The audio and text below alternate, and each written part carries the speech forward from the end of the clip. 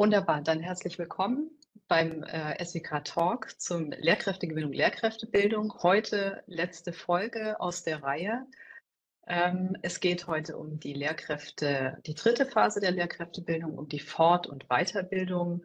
Wie kann man eigentlich systematische Fortbildung von aktiven Lehrkräften gestalten und wie ist die Weiterbildung für weitere Funktionen? Es geht um die Professionalität von Lehrkräften, um neue Herausforderungen und Themen und natürlich auch den aktuellen Wissensstand und neue Aufgaben.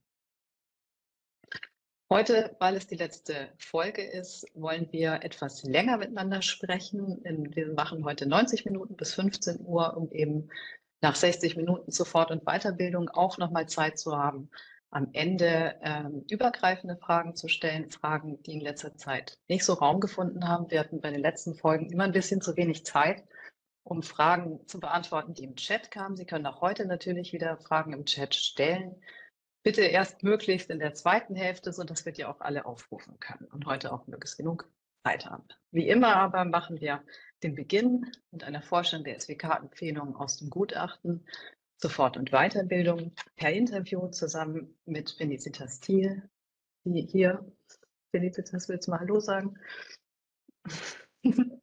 Ja, ich hoffe, man hört mich. Das ist hier wirklich schrecklich mit dieser Technik. Super. Ich bin an der FU und da ist das WLAN schlecht und die LAN-Verbindung klappt auch nicht, aber Hauptsache, es funktioniert jetzt. Ja, sehr gut. Äh, Felicitas Kiel ist die Co-Vorsitzende der Ständigen Wissenschaftlichen Kommission und Professorin für Schulpädagogik an der FU. Dann haben wir heute als weitere Referenten Frau Dr. Birgit Pikowski. Frau Pikowski ist die Direktorin des Pädagogischen Landesinstituts in Rheinland-Pfalz. Hallo, Frau Pikowski, schön, dass Sie da sind. Dann ist Frau Professor Dr. Ulrike Tippe bei uns. Die ist seit 2017 Präsidentin der TH Wildau, wenn ich sie richtig verstanden habe, und außerdem HRK-Vizepräsidentin für Digitalisierung und vor allem auch wissenschaftliche Weiterbildung. Freuen uns sehr, dass Sie heute da sind und die Runde auch erweitern. Außerdem ist Frau Caroline Jesser da. Hallo, Frau Jesser. Sie ist Rektorin der Matern-Feuerbacher Realschule in Baden-Württemberg und außerdem Lehrerin für Englisch und evangelische Religion. Entschuldigung. Hallo Frau Jesser, schön, dass Sie da sind. Mein Name ist Isabel Sie. Ich leite die Geschäftsstelle der SWK und führe Sie heute durch diesen Talk. Wie gesagt, stellen Sie Ihre Fragen bitte möglichst im Chat, erst im Anschluss an die erste Podiumsrunde. Und nochmal der Hinweis, wir zeichnen die ähm, Folge auf und Sie können es später nachhören bei Spotify oder YouTube. Dann starten wir mit den ersten Fragen an dich, Felicitas. Nicht nur die SWK bemängelt, dass die dritte Phase der Lehrkräftebildung sehr wenig Beachtung findet. Wo liegen aus Sicht der SWK denn die größten Probleme der dritten Phase? Ja, vielen, vielen Dank für die Frage. Erstmal ist es wichtig, glaube ich, zwischen Fort- und Weiterbildung zu unterscheiden. Das machen wir häufig nicht. Fortbildung ist die Weiterentwicklung der Kompetenzen, die jemand erworben hat in der Erstausbildung oder im ersten Studium an sich verändernde Herausforderungen. Wenn man das neue Schulbarometer anschaut, ne, was die Lehrkräfte sagen zum Umgang mit Heterogenität oder Umgang mit herausforderndem Verhalten, dann ist unmittelbar klar, man braucht Fortbildung, man braucht äh, gezielte Fortbildung. Weiterbildung ist die Qualifikation für neue Aufgaben. Zum Beispiel, äh, ich möchte gerne mich bewerben für eine Schulleitungsposition oder eine Schulaufsichtsposition. Und die Probleme sind folglich auch andere für beide Fälle. Wir haben, und das gilt allerdings für Fort- und Weiterbildung gleichermaßen, häufig ein Problem, aktuelle Forschungsbefunde einzuspeisen in die Angebote. Die sind so abgekoppelt, ne? ganz häufig, äh, wenn sie in den Landesinstituten stattfinden. Wir haben ein Problem mit der Bedarfsorientierung. Der, die, äh, das Angebot trifft häufig nicht die Nachfrage zum Beispiel die Themen des deutschen Schulbarometers. Wir haben keine Qualitätssicherung der Angebote. Es finden kaum systematische Evaluationen statt. Das haben wir uns angeschaut. Ähm, und die Fortbildung ist ja ein unheimlich wichtiges Instrument der schulischen Personalentwicklung. Das ganze neue Steuerungsmodell, was implementiert wurde, was ja auch vorgesetzten Funktionen auf die Schulleitung im Bereich der Personalentwicklung äh, überträgt, lebt ja davon dass man auch gute Fortbildung empfehlen kann, wenn man einen Bedarf festgestellt hat. Das ist jetzt das Problem der äh, Fortbildung vor allem. Bei der Weiterbildung haben wir hier in Deutschland das Problem, dass die ähm, äh, Weiterbildung gar nicht verknüpft ist mit Laufbahnen. Ne? Das, äh, wenn, wenn man Schulleitung werden will, dann ist es völlig unklar und völlig unterschiedlich in den unterschiedlichen Ländern, welche zusätzlichen Qualifikationen man braucht. Und da gibt es in anderen Ländern, zum Beispiel in der Schweiz oder in Österreich, eine Debatte darüber, wie man eben die Laufbahn, die Qualifikationserwartung und die Weiterbildungsangebote systematischer äh, verknüpft. Ja, vielleicht so viel erstmal. Ähm, zu den einzelnen Punkten kommen wir ja vielleicht auch dann nachher noch. Ein, ein, Punkt wäre, dass wir eben auch keine fehlenden Kompetenzrahmen, keine Funktion, äh, für Funktionsstellen haben und wenig systematische Strukturen der Kooperation zwischen Wissenschaft und dann den Landesinstituten. Könntest du doch mal noch konkreter machen, was sich für die Fortbildung für die Lehrkräfte konkret verändern soll, also in einzelnen Punkten?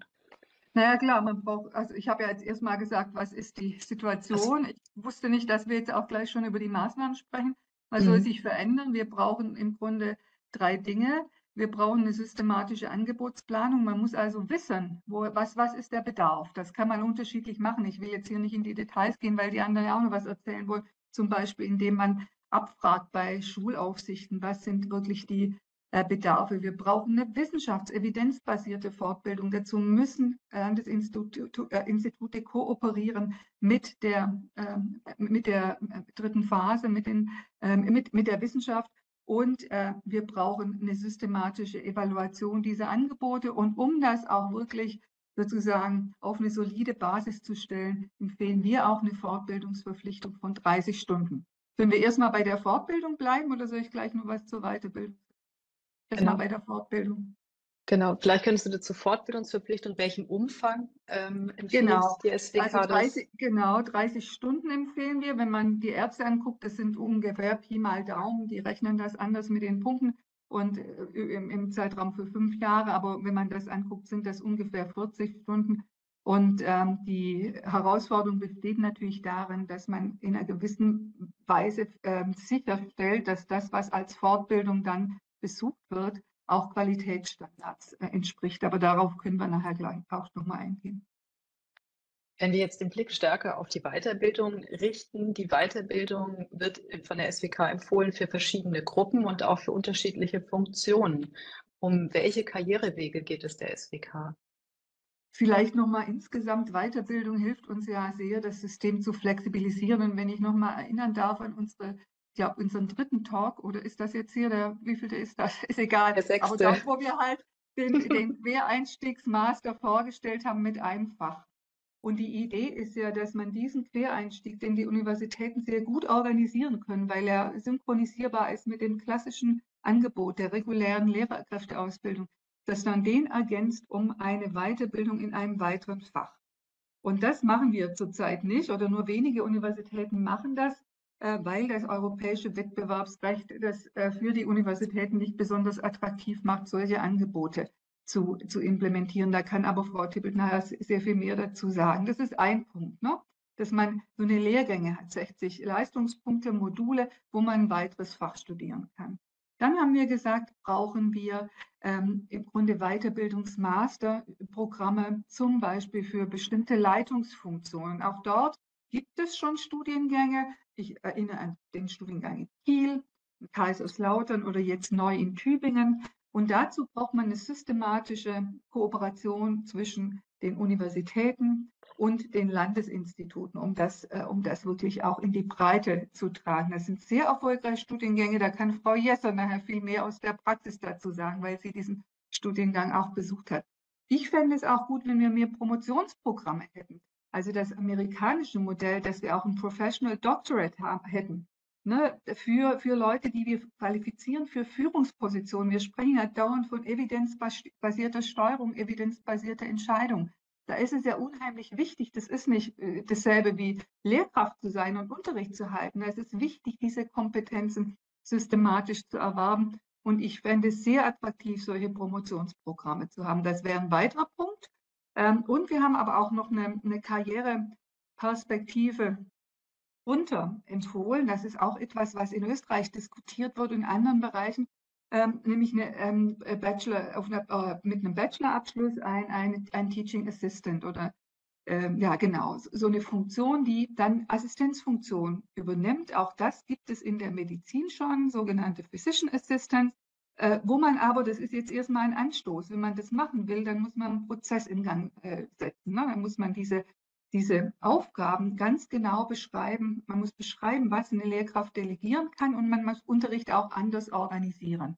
Man muss das orchestrieren, man muss die Aufgaben sozusagen ganz klar definieren und dann auch die Modi der Zusammenarbeit.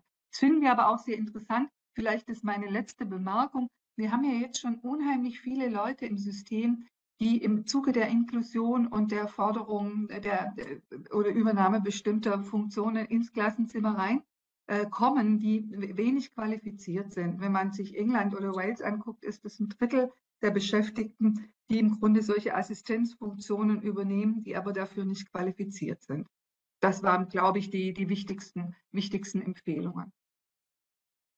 Könntest du noch den Punkt Qualitätssicherung ausleuchten, also sowohl was in der Fortbildung anbelangt, als auch in der Weiterbildung? Welche Vorschläge macht die SWK hier? Ja, das ist ein ganz wichtiger Punkt. Wir wissen ja praktisch nichts äh, über die dritte Phase. Wir haben einzelne Evaluationen und wahrscheinlich werden auch die, die Module oder die Angebote werden sicherlich evaluiert, aber man weiß nichts. Man hat keine Daten darüber, passt das Angebot, wo gibt es Bedarfe. Also es ist wirklich ein Riesenbedarf an Qualitätssicherung. Wir können uns auch so etwas Ähnliches vorstellen wie Akkreditierungsverfahren von unabhängigen ähm, Einrichtungen, die auch die dritte Phase mit umfassen. Das ist sicherlich eine große Herausforderung. Wenn man das nicht so macht, dann muss man andere Formen der externen Evaluation und Qualitätssicherung äh, äh, entwickeln, die einerseits eine Evaluation der Angebote umfassen, aber auch ein Controlling dieser ganzen Dinge, die ich schon genannt habe, Bedarfsplanung und so weiter. Ne? Es, wir wissen ja, also man kriegt es ja nicht raus. Ich habe ein Buch darüber gemacht und wir haben versucht, das rauszukriegen. Wo man es rauskriegt, ist über parlamentarische Anfragen. Da kriegt man raus hier für Berlin, dass ein Drittel der Veranstaltung ausfällt. Ne? Und das ist mit dem Transparenzgebot, auch was die Verwendung öffentlicher Mittel bet, äh, betrifft, eigentlich nicht zu vereinbaren. Deswegen ist das ein ganz, ganz wichtiger Punkt, diese Qualitätssicherung zu implementieren. Und zur Weiterbildung macht die SWK da auch äh, für die zusätzlichen Studiengänge Empfehlungen? Ja, klar. Also da haben wir ja gesagt, äh, für, für Funktionsstellen, unterschiedliche Funktionsstellen, das wäre sehr, sehr gut, wenn, wenn, wenn man da mit den Universitäten zusammenarbeiten könnte. Wie gesagt, es gibt ja schon äh, Studiengänge und wir haben auch das Papier, was wir ja alle mit großem Interesse gelesen haben, was Frau Tippelt ähm, verantwortet hat äh, die ähm, äh, Tippe, Entschuldigung, nee, Tippelt ist Rudolf Tippelt, habe ich jetzt verwechselt, entschuldigen Sie, ähm, ist ein Weiterbildungspapst von uns, ich weiß nicht, ob Sie ihn kennen, und ähm, die, die, zu den Micro-Credentials, äh, das, das ist natürlich ganz interessant. Wenn man das wirklich schaffen könnte, dann kann man auch gut kooperieren, gegenseitig aner äh, Dinge anerkennen und damit dann im Grunde auch kompakte Weiterbildung, wo am Ende ein Zertifikat steht, vielleicht auch sogar einen Masterabschluss entwickeln. Also find, wir haben jetzt echt so ein Fenster, ähm, das finde ich, ist mit dem Papier aufgemacht worden, was ich sehr, sehr gut finde, wo man jetzt gerade auch in die Gänge kommen könnte. Und vielleicht noch eine letzte Bemerkung, Isabel.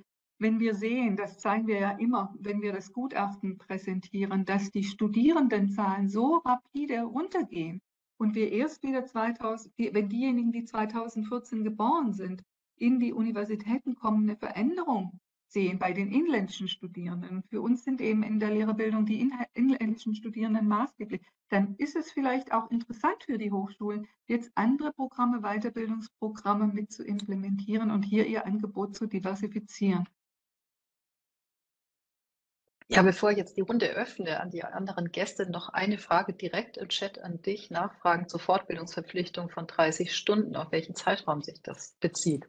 Das bezieht sich auf ein Jahr und entspricht ungefähr dann dem, was die, also die Mediziner haben noch zehn Stunden mehr ungefähr. Und es ist übrigens in Hamburg schon implementiert, das funktioniert.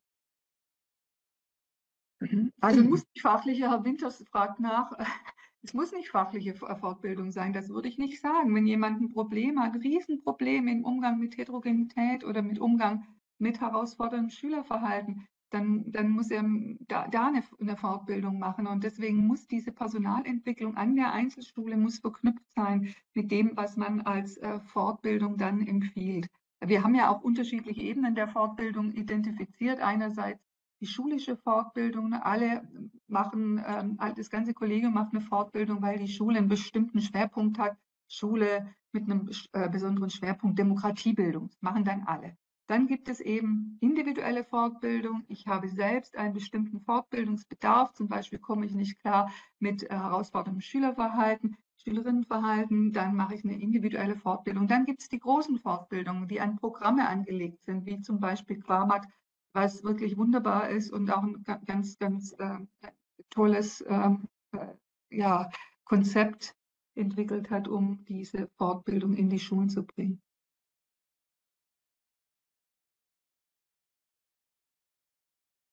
So, die Nachricht, die letzte wurde gelöscht. Ähm, dann gehe ich jetzt mal zunächst äh, Frau Tikowski. Wie bewerten Sie denn die Empfehlung der SWK aus Sicht der Landesinstitute, die ja Fortbildungsangebote machen? Wie sehen Sie das? Also zunächst äh, würde ich ganz gern ähm, eine Vorbemerkung äh, vorweg schicken. Also zum einen, ich freue mich sehr, dass die dritte Phase der Lehrerbildung gerade in den letzten Jahren in den Blick gekommen ist. Mit Blick auf das, was Frau Thiel eben gesagt hat, dieses lebenslange Lernen äh, von Lehrkräften. Ich habe ein Studium beendet äh, und die Anforderungen ändern sich über die Jahrzehnte. Und von daher ist es auch wichtig zu sagen, wie kann die Fortbildung, also nicht die Weiterbildung, wie kann die Fortbildung gestaltet werden, um fachlich, fachdidaktisch und auch pädagogisch auf dem aktuellen Stand zu sein. Das war ja auch eine Frage im Chat. Geht es auch um die fachliche Fortbildung? Natürlich geht es auch um die fachliche Fortbildungen, wenn neue Erkenntnisse sind. Und ich würde gern die ähm, Punkte, die Frau Thiel aufgemacht hat, einfach mal aus meiner Perspektive durchgehen und beginnen mit dem Punkt forschungsbasiert. Weil also auf der ersten Ebene kann ich sagen, natürlich kann man diese Forderungen alle nur unterstützen. Aber was heißt es konkret? Also bei äh, der Forschungsbasierung geht es bei den Fortbildenden auch um die eigene Qualifikation. Also wie kann ich mich als Fortbildner äh, weiter qualifizieren und ein Qualitäts- und Kompetenzprofil ähm, formulieren. Ich sehe es weniger defizitorientiert, muss ich sagen, wie in dem Gutachten dargestellt. Und von daher würde ich gern aus der Sicht eines Landesinstitutes ähm, Dinge beleuchten. Es gibt in allen Bundesländern diese Landesinstitute. Die Aufgaben sind leicht unterschiedlich, aber wenn man einen Schritt zurückgeht, ist das Verständnis in allen Landesinstituten an einer Stelle vergleichbar. Wir sind Diener zweier Herren. Auf der einen Seite der Bedarf der Lehrkräfte, das systematisch erfasst werden muss. Da stimme ich Ihnen zu. Wir machen das auch. Wir fragen regelmäßig die Lehrkräfte, die Schulleitung nach ihrem Bedarf ab. Und interessanterweise, äh, weil auch immer wieder die Frage nach den fachlichen Fortbildungen kommt, das ist immer bei den Top 5 der Themen, die genannt werden, sind fachliche Impulse. Es sind aber auch vor allem Anfragen in Richtung, wie gestalte ich den Berufsalltag? Wie komme ich mit meiner Klasse klar? Wie, mit zunehmender Heterogenität? Sprachförderung ist ein Thema, was immer stärker in den Fokus kommt, aber auch Umgang mit Krisen. Also diese Erfassung des Bedarfs ist wichtig, aber nicht nur des Bedarfs der Einzellehrkraft, sondern auch der Schulleitung, der Schule und auch Bildungspolitik und Bildungsadministration, um auch den zweiten Herren zu nennen, dem wir dienen. Weil Fortbildung ist ja nicht nur eine Professionalisierung der Einzelperson, sondern letztendlich auch ein Hebel, um bildungspolitische Impulse umzusetzen. Und forschungsbasiert äh, bedeutet für mich nicht nur die eigene Qualifikation in den Blick zu nehmen, sondern auch in Kooperation mit Hochschulen Impulse in die Schulen zu bringen. Äh, auch hier würde ich gerne wieder ein positives Beispiel nennen, die Masterclasses, wo wir wirklich Experten aus der Wissenschaft nehmen, die kurze Videoimpulse, um ein Beispiel zu nennen, aufnehmen und wir kontextualisieren diese Impulse in längerfristigen Fortbildungskontexten und Reihen kann man die einbetten. Vieles, was aus der Forschung kommt, bedarf auch der Übersetzung, der Rahmung im Schulalltag, damit es auch äh, umgesetzt werden kann. Wichtig finde ich auch äh, die Qualitätssicherung. Und auch hier würde ich nicht nur die Evaluation der Einzelangebote nennen, sondern, also das macht, das machen, glaube ich, alle Landesinstitute, dass man so auf der ersten und zweiten Ebene alle Angebote evaluiert und bei neuen Reihen ähm, auch den Blick von außen, eine wissenschaftliche Evaluation durchführen lässt. Das sollte jedoch und könnte man noch viel systematischer machen. Und auch Dazu haben wir selbst in den Landesinstituten überhaupt nicht die Kapazitäten und die Möglichkeiten, solche äh, tiefergreifenden äh, Qualitätssicherungen und Evaluationen durchzuführen, die auch bis auf die Ebene der Schüler und auf die Handlungsebene äh, heruntergehen. Ähm, der letzte Punkt, den Sie angesprochen hatten, äh, wenn ich nichts vergessen habe, war der äh, ländergemeinsame Qualitätsrahmen. Also es gibt ja die Standards der Lehrerbildung, die müsste man weiterentwickeln, die müssen auch operationalisiert werden. Aber ich glaube, man muss auch sehen, welche Grundlagen gibt es schon, auf denen man aufsetzen und gemeinsam weiterarbeiten kann. Äh, vielleicht an der Stelle zum Einstieg so viel, äh, dass ich denke, es ist, also mir wäre wichtig zu sagen, nicht nur defizitorientiert schauen, sondern was gibt es schon? Ich glaube, alle Bundesländer machen auch so etwas wie eine Bedarfserhebung. Wir berichten auch ähm, Kennzahlen gestützt. Das, glaube ich, ist nochmal ein wichtiger Punkt, um ein landesweites Monitoring zu ermöglichen. Was äh, auch ähm, bedarf, ist ein bundesweites Monitoring. Da könnte ich mir auch einen Bereich beispielsweise im Bildungsbericht vorstellen, also im nationalen Bildungsbericht über Fortbildung.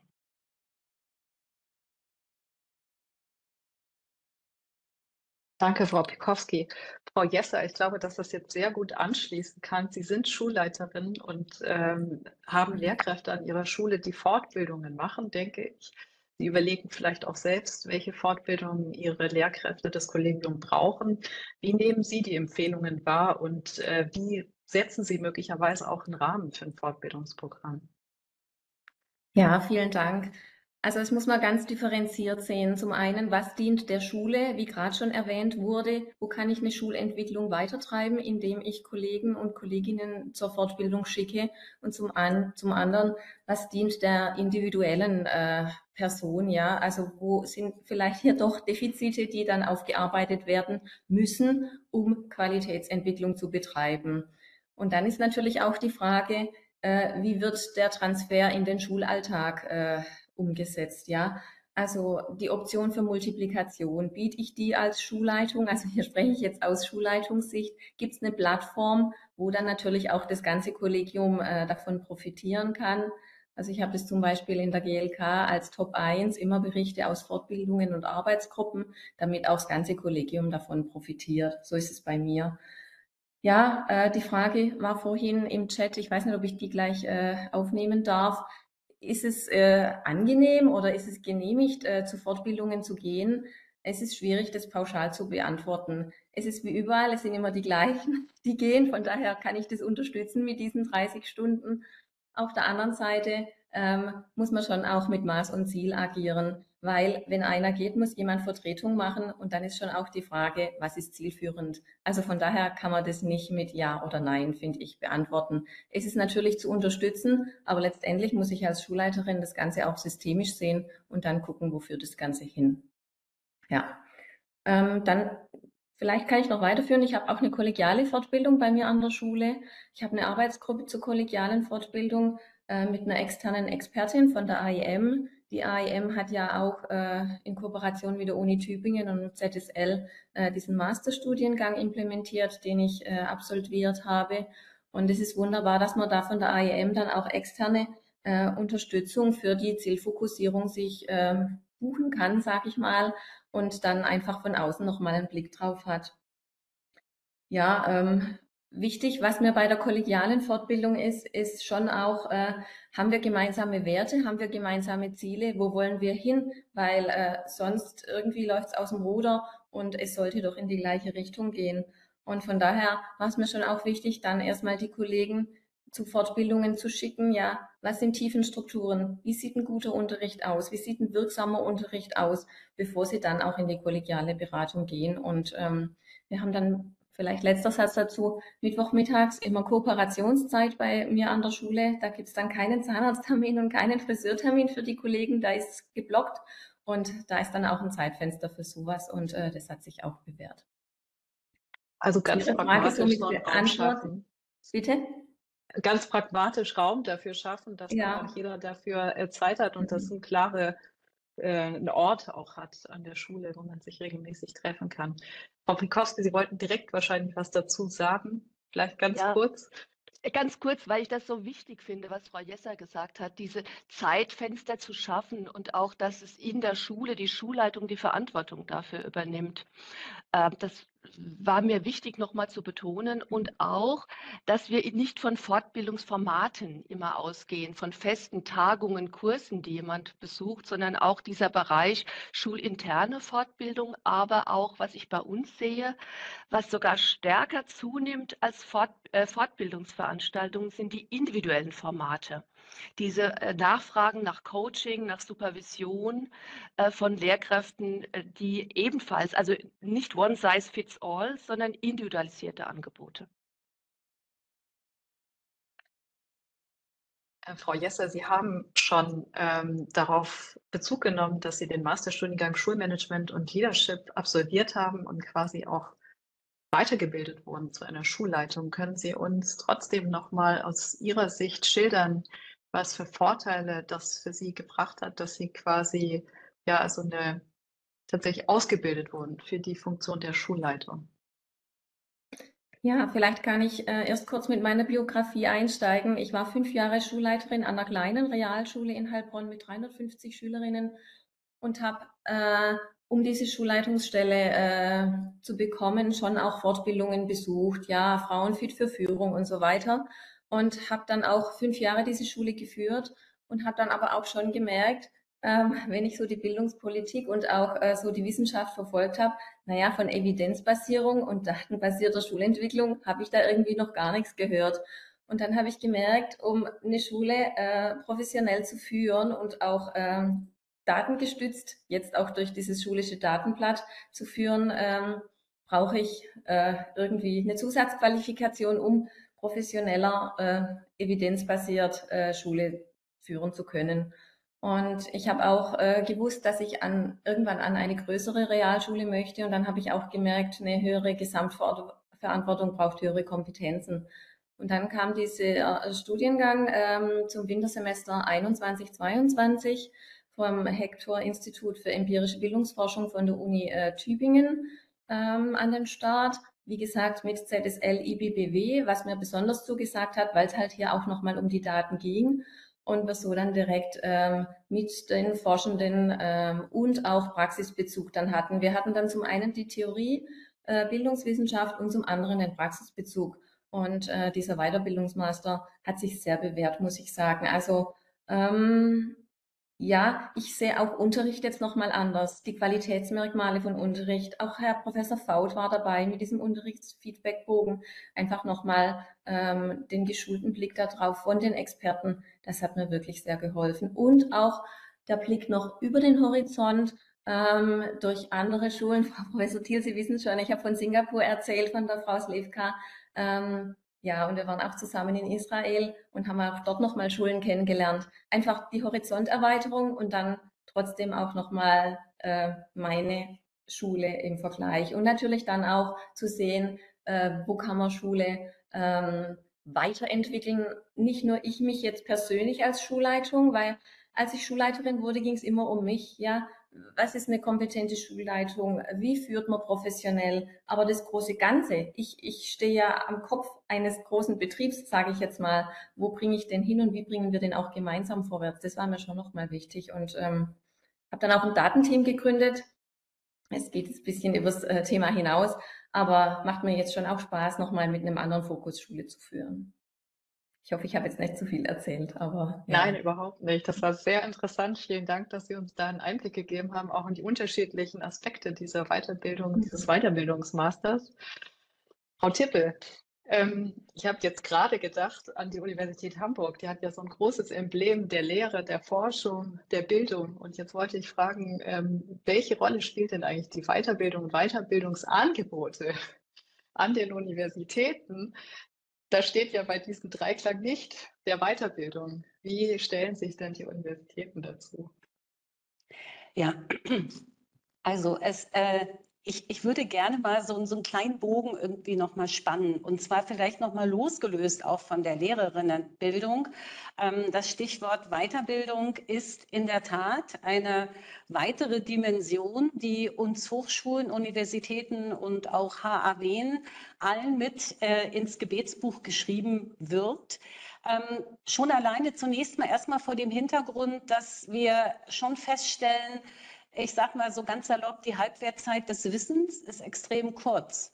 Und ähm, ich habe zwar Mathematik studiert, aber in der Wirtschaftsinformatik bin ich gelandet und ich musste jährlich meine Lehrveranstaltung komplett upgraden. Und ich glaube, das geht allen so. Das heißt, die Studierenden, die die Hochschule verlassen, ähm, ja, also von dem, was sie gelernt haben an Wissen, wird vieles veraltet sein. Dann geht es natürlich darum, mit welchen Kompetenzen schicken wir sie raus, also auch hinsichtlich der Fähigkeit des lebenslangen Lernens. Und da kommen wir zu dem Punkt, dass wir als Hochschulen alle ähm, zunehmend gefordert sein werden. Das wissen wir auch, aber die Ressourcen stimmen noch nicht ganz in Klammern, da komme ich dann gleich drauf.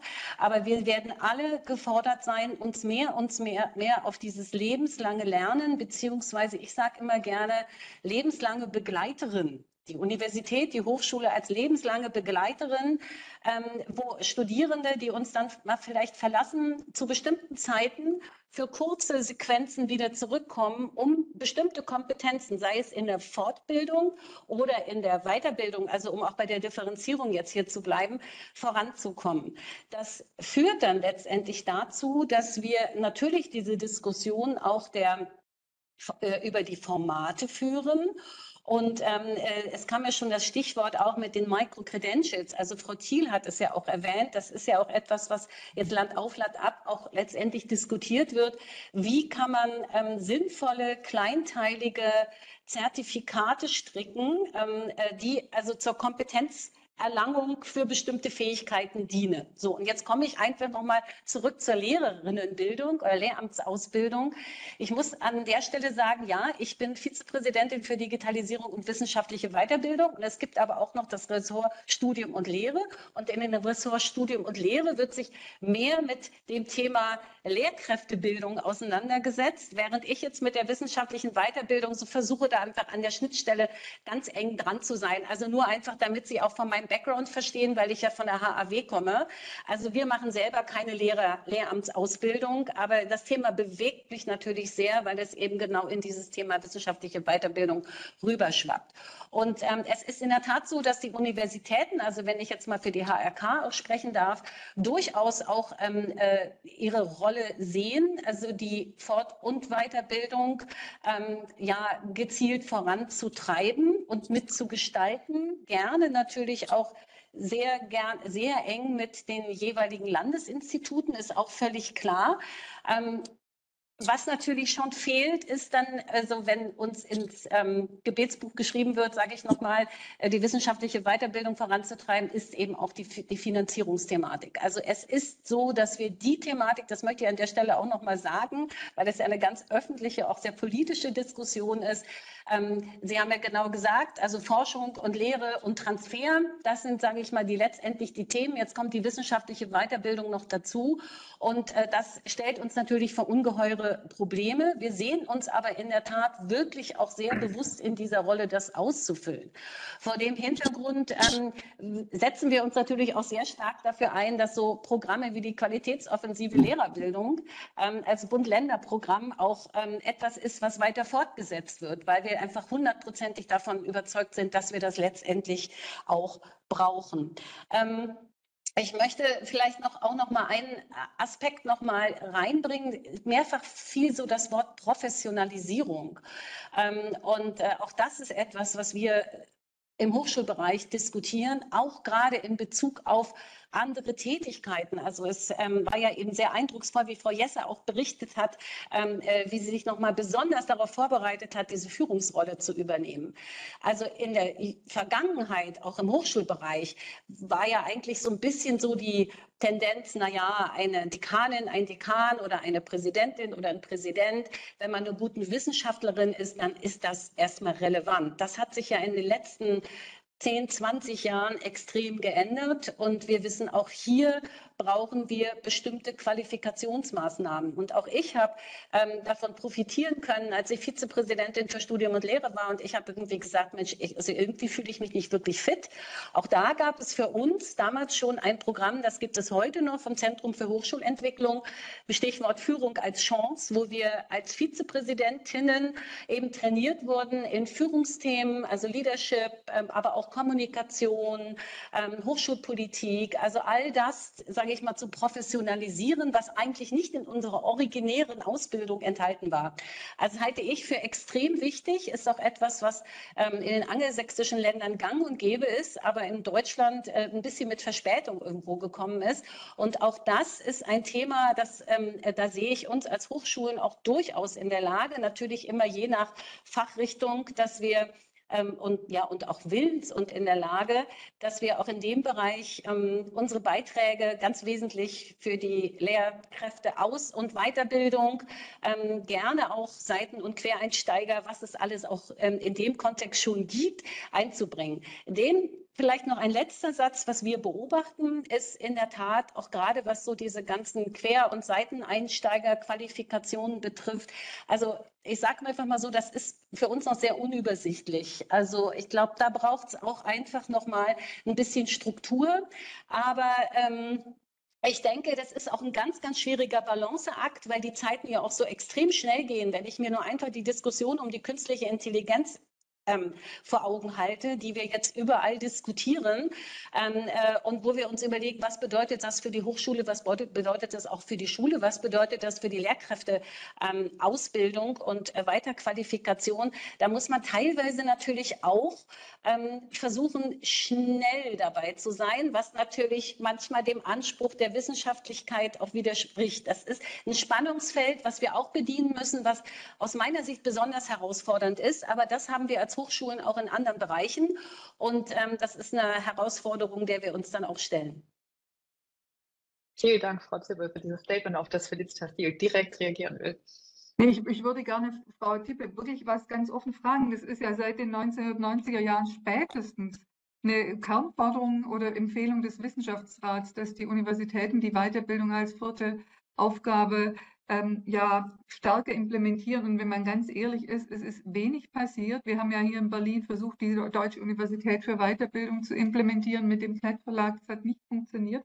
Und es ist einerseits eine Frage der Finanzierung, andererseits aber auch eine Frage des, der rechtlichen Rahmenbedingungen. Ich habe ja schon vom, vom europäischen Wettbewerbsrecht gesprochen. Der, die öffentliche Hand darf ja gar nicht finanzieren, selbst wenn sie das wollte. Ne? Wir müssen das eigentlich ähm, als, als äh, kostenpflichtige Angebote ähm, anbieten und zwar zu horrenden Gebühren, wenn man sich das, wenn man das durchrechnet, wenn die Universität eine Vollkostenrechnung macht, sprich alles veranschlagt, was wir nutzen in der Universität, äh, also Räume, ähm, äh, Infrastruktur, Digitalinfrastruktur und so weiter, dann ist das nicht mehr zu finanzieren für unsere Leute in, in Lehramt, in, im Lehramt. Ne? Das mag jemand im Pharmazieunternehmen zahlen oder Medizinerinnen und Mediziner, aber bei uns ist das eine Schwierigkeit. Und Ihr Papier habe ich schon so verstanden und auch die Diskussion jetzt mit der Berliner Wissenschaftssenatorin, als hätten wir hier ein, ein, ein, Fenster, als würde wirklich die Politik sich bemühen darum, diese Empfehlung vom Wissenschaftsrat jetzt auch mal äh, äh, in die Tat umzusetzen und diese Bedingungen zu aktiv zu verändern. Ich weiß, europäisches Recht verändert man nicht so schnell, aber wenn wir das nicht tun, dann werden wir immer nur so kleine Basteleien haben. Es gibt keinen Anreiz für die Universitäten, das zu machen. Das ist immer ein Zusatzgeschäft. Und ich halte es aber für sehr, sehr wichtig und, und organisationell bietet ja Ihr Papier mit diesen Microcredentials genau die Möglichkeiten, dass wir mit den Landesinstituten auf der Basis gegenseitiger Anrechnung auf der Grundlage eines Qualifikationsrahmens dann arbeiten. Aber die Anreize haben wir halt nicht. Ja, in der Tat. Also ähm, äh, polit, der politische Wille ist da. Ähm, ich beobachte durchaus, aber nun ist halt, also auch Wissenschaft und Bildung ist ja auch immer Ländersache. Man muss ein bisschen in die Ländergesetze einfach auch mal reinschauen. Ähm, also wir sind ja hier zum Beispiel in Brandenburg verortet. Wir haben seit 2004, 2005 ein An-Institut, wo wir in der Tat das genau so machen, wie Sie beschrieben haben, gebührenpflichtige Masterprogramme ähm, äh, sozusagen für die Hochschule durchführen lassen. Die Gebühren lassen, halten sich in Grenzen und wir haben dort auch, ähm, sagen wir mal, durchaus institutionelle Kooperationen. Also, dass nicht die einzelnen Personen zahlen müssen, sondern eben bestimmte Institutionen. Also in unserem Fall, das muss man auch mal sagen, also jetzt komme ich natürlich so ein bisschen so in die Bedrulle. Die Lehrerausbildung, Lehramtsausbildung in Brandenburg ist an der Uni Potsdam verortet. Ähm, nichtsdestotrotz ähm, haben wir mit dem Bildungsministerium genau über dieses Institut eine Vereinbarung, wo wir fachlich fachlich in Informatik Lehrkräfte sozusagen fachlich ähm, unterrichten und dann wickeln wir die Finanzströme sozusagen über das ähm, Ministerium letztendlich ab. Also es ist in der Tat so, dass wir insbesondere im Masterbereich bei uns in Brandenburg schon Freiheiten haben und gestalten dürfen. Im Bachelorbereich ist es noch schwieriger, besonders wenn der erste, Quali ähm, äh, erste sozusagen qualifizierende Hochschulabschluss, berufsqualifizierende Hochschulabschluss kostenfrei sein soll aus politischen Gründen. Es ist extrem schwierig, auf diesem Level etwas anzubieten. Aber in der Tat, also, die, ähm, also der Druck wird schon erkannt. Ähm, systematische Lösungen bundesweit sehe ich so nicht. Ähm, äh, aber es ist in der Tat so, dass einfach auch die Nachfrage natürlich steigt und ähm, ähm, auch einfach die Notwendigkeit erkannt wird. Ob das an der Schule ist, wo man sich auch natürlich also lebenslang irgendwo vielleicht noch mit mehr Nachdruck weiter qualifizieren muss, aber das ist in anderen, allen anderen Bereichen nicht anders. Und ich gehe davon aus, dass wir also rein, also vielleicht nicht die Gesichter, die, die einzelnen Gesichter, aber dass wir die Personen, die ich jetzt hier verabschiede mit einem Bachelor oder mit einem Master, dass wir die alle irgendwann mal wiedersehen werden. Und dafür braucht es natürlich dann auch die richtigen Rahmenbedingungen. Ähm, aber äh, wie gesagt, es, ich sehe da schon gewisse ähm, politische Öffnungen. Und, ähm, aber es ist in der Tat, ich gebe Ihnen noch dazu, ähm, gebe Ihnen recht, es ist in der Grundfinanzierung nicht ansatzweise ähm, enthalten. Ja. Frau Pikowski, Sie hatten sich auch noch direkt gemeldet, als Frau Tippel was gesagt hatte. Haben Sie Ihre Hand mit Absicht oben? Dann bitte ich Sie und danach würden wir einsteigen in den Chat. Also gerne stellen Sie jetzt weiter Ihre Fragen. Die ersten haben wir schon gesammelt. Frau Pikowski. Also auch direkt dazu, allerdings mehr mit dem Blick auf die Fortbildung. Also Sie hatten das Stichwort qualitätsoffensive Lehrerbildung genannt und ich glaube, das ist, war für mich das Stichwort, als ich die Hand gehoben habe, äh, weil ich glaube, es ist wichtig, da auch in längeren Linien zu denken, auch zeitlich längere Linien, damit die Angebote auch in der dritten Phase, also auch in der Fortbildung ankommen können und nicht nur in der ersten und zweiten Phase. Auch hier sind wir wieder an dem Thema äh, Forschungsfinanzierung und wenn wir eine systematische Kooperation wollen zwischen Wissenschaft Wissenschaft und Landesinstitute muss auch der Bereich der Finanzierung der Systeme mit in den Blick genommen werden, dass auch beispielsweise Landesinstitute drittmittelfähig sein müssen, um auch Ressourcen für diese Entwicklungsarbeiten einsetzen zu können. Und ich wünsche mir an der Stelle auch so etwas wie eine stärkere Durchlässigkeit der Systeme, erste, zweite und dritte Phase der Lehrerbildung, um auch Beispiel, also ich mache mal ein ganz kleines Beispiel. Wieso ist es nicht möglich, dass ein Hochschullehrer auch Teile seines Deputats mal in der dritten Phase erbringen kann, wenn im Gegenzug die äh, Finanzierung oder ein Gegenangebot kommt? Es muss ja an die Hochschule was zurück fließen. Aber so etwas zu erproben, zu evaluieren und dann vielleicht auch in die Fläche zu geben, halte ich für sehr, sehr lohnenswert. Danke. Also das unterstütze ja. ich sehr. Also ich will das jetzt will nicht weiter vertiefen, aber das ist ein ganz, ganz wichtiger Gedanke, ja. Im Chat hat es sehr viele Nachfragen gegeben zur Fortbildungsverpflichtung die die SWK empfiehlt. Und zwar, Felicitas, vielleicht kannst du dazu noch mal ein Statement geben. Die Frage ist, sind 30 Stunden eigentlich ausreichend runtergerechnet auf die einzelnen Wochen? Dann hat ein Teilnehmer gefragt, ist denn eigentlich Coaching Teil des, der Fortbildung? Macht das auch, äh, ist das auch quasi ein Format? Und ähm, ist es nicht so eine Fortbildungsverpflichtung ohne Sanktionen auch ein zahnloser Tiger, hat, glaube ich, ähm, derjenige im Chat geschrieben oder diejenige, wenn es quasi keine Folgen gibt, wenn man diese 30 Stunden nicht ausschöpft, muss man dann nicht eigentlich auch Mechanismen dahinterlegen? Und ähm, die Frage hatte vorhin auch schon ähm, Frau ähm, Jesser aufgerufen. Ähm, ist es nicht auch eine Belastung für Lehrkräfte, wenn die nicht ohnehin schon eigentlich ähm, viel Unterricht ähm, vertretungsweise geben und so weiter, zusätzlich noch diese Fortbildungsverpflichtung einzulösen und auch für die Schule fällt möglicherweise dann weiterer Unterricht aus. Kannst du dazu? Ja, ja, das waren jetzt eine ganze Menge, reichen 30 mhm. Stunden aus. Ich finde, das ist ein Anfang. Hamburg macht das, man kann sagen, man kriegt es hin. Die haben allerdings auch ein Arbeitszeitmodell, das will ich nicht äh, verschweigen. Da funktioniert das natürlich einfacher, wenn man die Sache auch bepreist. Ähm, gehört Coaching dazu? Äh, selbstverständlich. Ich stelle mir das so vor, wie das die Ärzte machen. Wir brauchen eine Zertifizierung der Angebote. Das machen dort die Kammern, die haben wir nicht. Also wir müssen sowieso stärker nachdenken über Zertifizierungsstrukturen. Das gilt auch für digitale Tools. Wir haben, es gehört jetzt nicht hier rein, die Schulbuchzulassung abgeschafft. Das ist eine Riesenschwierigkeit für, für, für, für Schulleitungen, sich zu orientieren. Dasselbe gilt für die Fortbildung. Auch hier brauchen wir irgendeine Art von Konsumenteninformationssystem. Ne? Und dazu gibt es ja aus anderen Bereichen genug, genug Überlegungen. Coaching selbstverständlich, wenn es gutes Coaching ist. Und wir brauchen natürlich einen Qualifikationsrahmen, ne? wo wir klar machen, was ist, ähm, welche Angebote sind ange angeboten, äh, welche Formate und so weiter.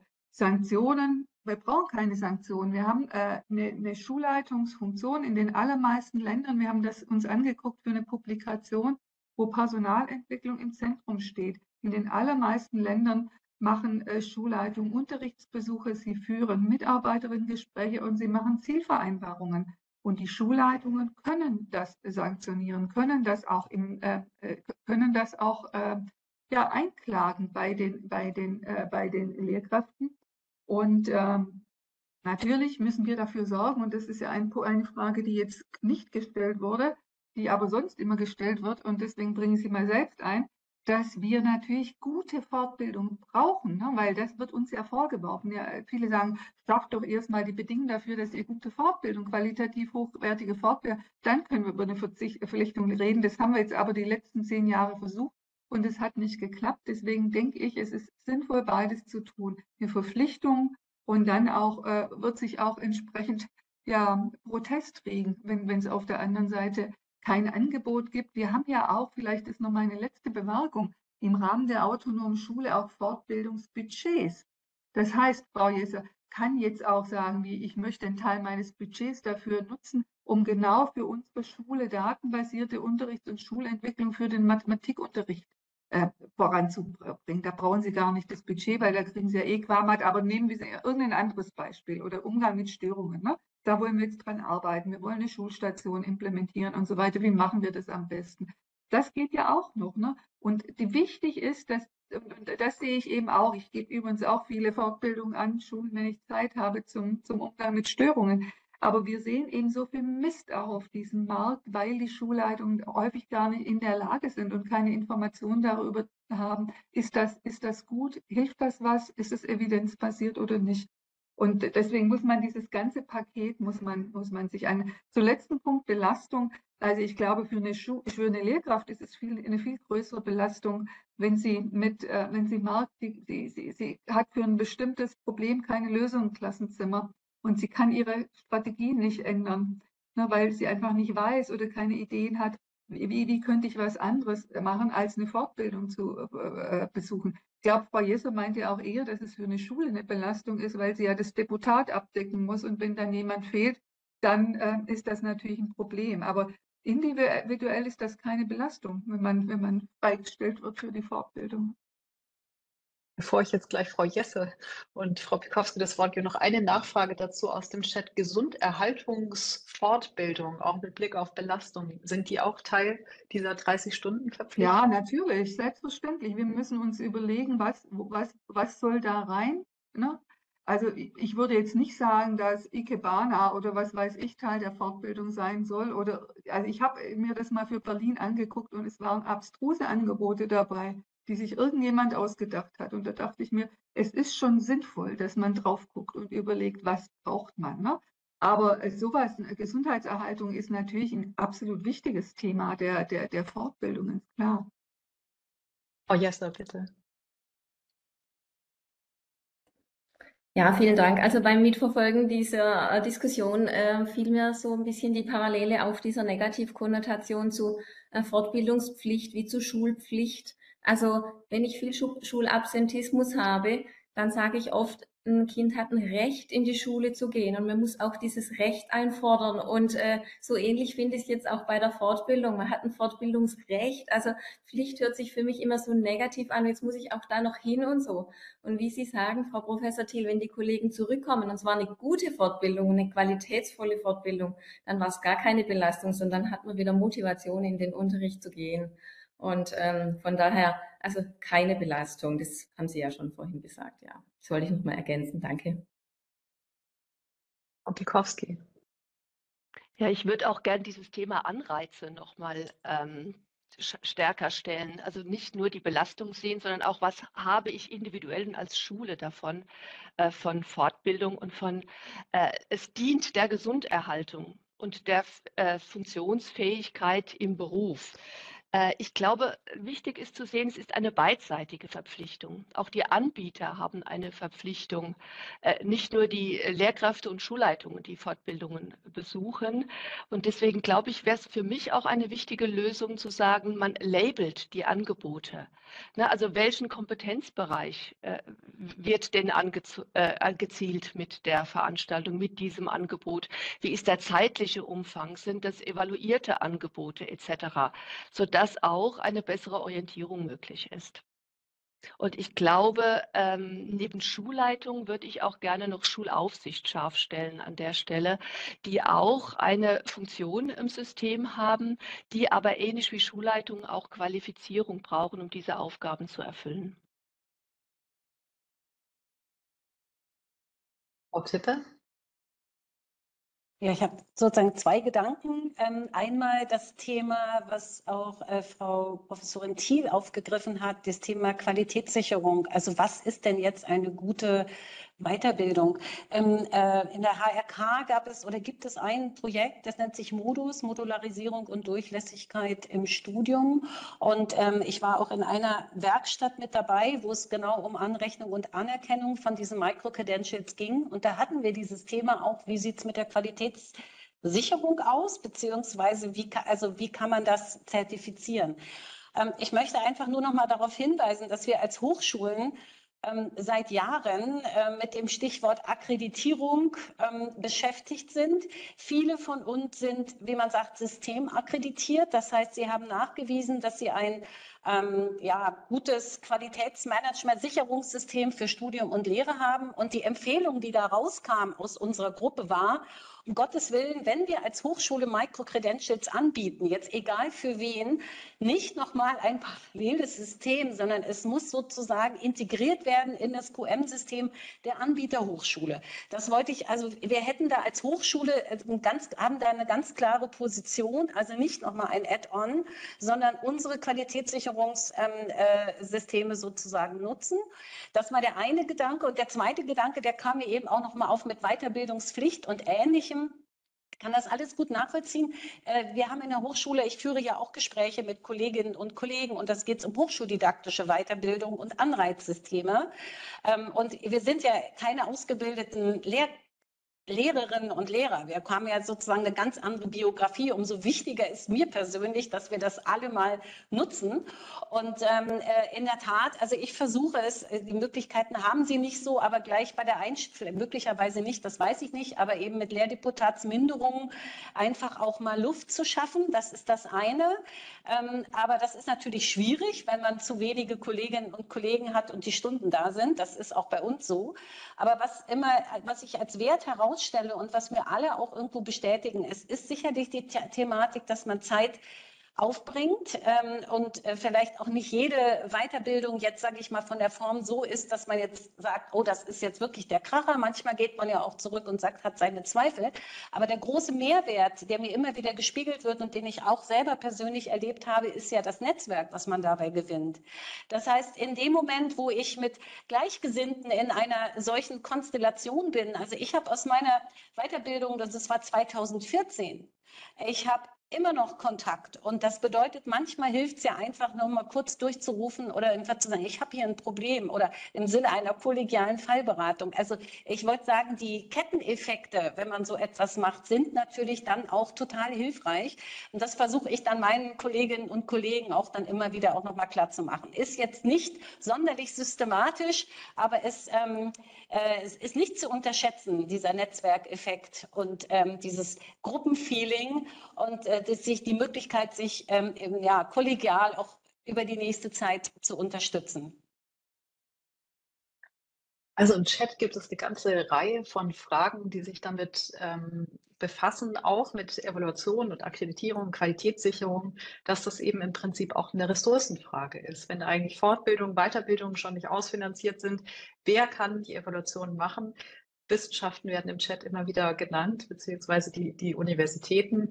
Aber wer finanziert das dann am Ende mit welchen Ressourcen? Und unter der Überschrift Ressourcen auch das Bedauern, wie eigentlich äh, Professoren in, äh, an Schulen oder in Landesinstituten Fortbildungen geben können und wer das eigentlich finanzieren kann oder ob man das nicht anerkennen kann. Ich glaube, Frau Tippe, das ist genau Ihr Thema.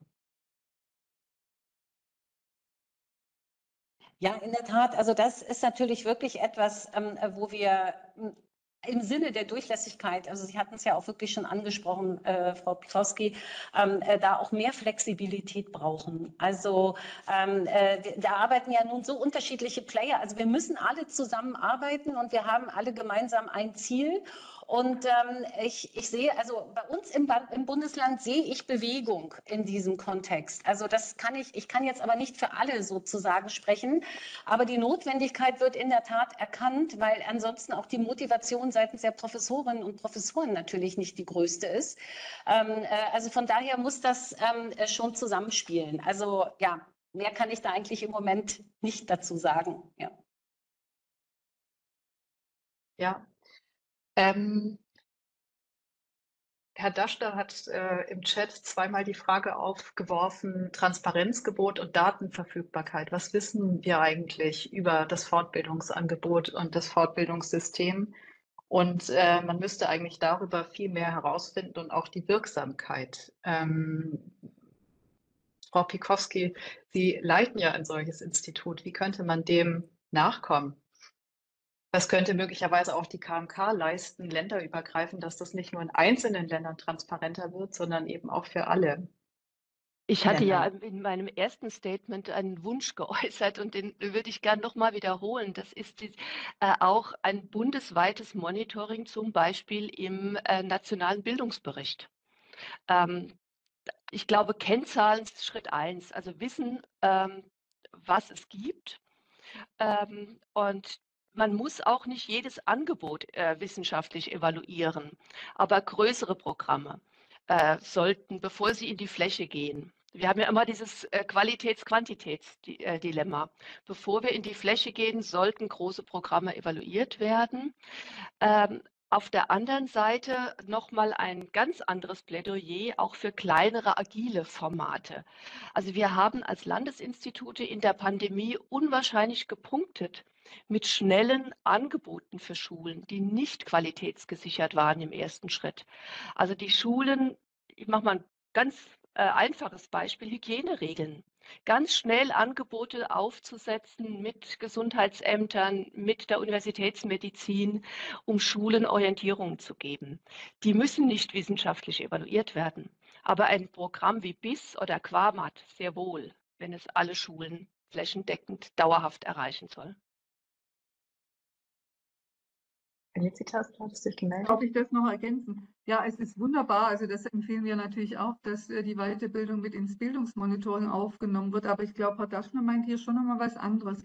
Also Controlling ist eine Kernaufgabe der, der jeder Organisation. Deswegen kann man auch nicht sagen, wir brauchen da jetzt eine extra äh, das äh, Institution, sondern das muss man, diese Daten muss man aufbereiten. Wir leben im Zeitalter der Digitalisierung. Für mich völlig unverständlich, warum wir nicht wissen, wie, wie viel ähm, Fortbildung ausfallen. Wir wissen das nicht in Berlin. Ich bin im Qualitätsbeirat.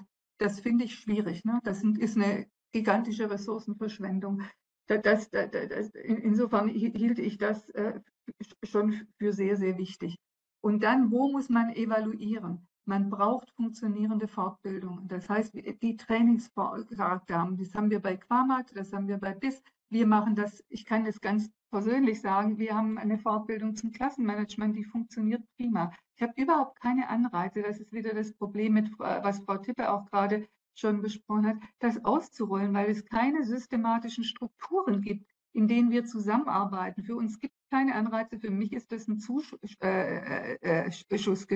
Äh, äh, äh, Geschäft, ne? Also solche Dinge müssen wir klären und wir brauchen evidenzbasierte Angebote. Und da haben wir jetzt ganz viel in, in der Wissenschaft entwickelt, in der Qualitätsoffensive Lehrkräftebildung. Und das müssen, muss nicht nur in Mathe und Deutsch in die Landesinstitute, sondern in all den anderen Fällen auch, wo wir teilweise wirklich Angebote haben, wo mir die Haare zu Berge stehen. Was ist das denn für ein Zeug? Mit den Lernstilen zum Beispiel. Das ist was, ist totaler Unsinn. Auf, ne, aber das ist absolut, äh, ist, ist absolut äh, beliebt. Und das müssen wir uns eben genau anschauen. Das, das fände ich schon wichtig. Und Transparenz auch im Hinblick auf Finanzierung, da kann Herr Dasch noch mehr sagen, der darf heute nicht als ich, deswegen spreche ich es auch nochmal an. Ähm, auch da wissen wir nicht, wo ist das ganze Geld, wie viel Geld ist wo. Darf ich noch mal direkt dazu? Ja, ja. ja, das, das reizt mich schon. Also wenn ich sage, ich hätte das gerne im nationalen Bildungsbericht, dann hätte ich das gerne, weil es bundesweit sich äh, vergleichbare Zahlen wären. Natürlich gibt es auch kennzahlengestützte Berichterstattung, ähm, die auch transparent ist. Und also wir haben, also ich kann Ihnen sagen, was jede einzelne Fortbildung kostet. Aber es ist keine Vollkostenrechnung, die vergleichbar ist. Ähm, das ist immer nur landesintern vergleichbar. Also da muss man ähm, ein Stück äh, weitere Transparenzebenen einfügen und weitere Kennzahlen noch entwickeln. Aber machbar ist das. Darf ich kurz nachfragen, Frau Pikowski, ist bei Ihnen öffentlich einsehbar, wie viel Fortbildung ausfallen? Ja. Okay.